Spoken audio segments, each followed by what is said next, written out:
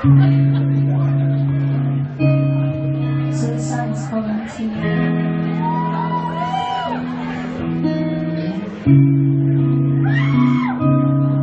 What do about loving someone by honoring their freedom as well?